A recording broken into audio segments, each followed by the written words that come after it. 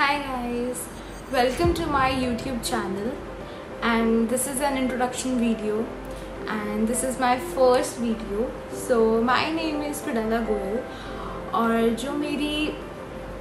YouTube पे videos होंगी वो इस पे बेस्ड होंगी like lifestyle skin care beauty